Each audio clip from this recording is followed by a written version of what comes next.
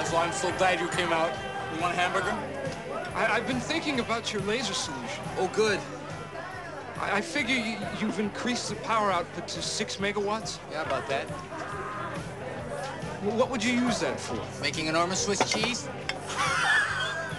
the applications are unlimited. No. With the fuel you've come up with, the beam would last for, what, 15 seconds? Well, what good is that? Oh, Lazlo, that doesn't matter. I respect you, but I graduated. Yeah, let the engineers figure out a use for it. That's not our concern.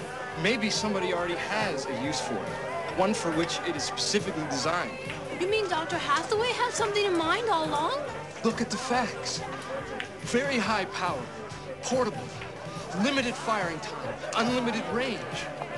All you need is a tracking system and, and, a, and, a, large spinning mirror, and you could vaporize a human target from space.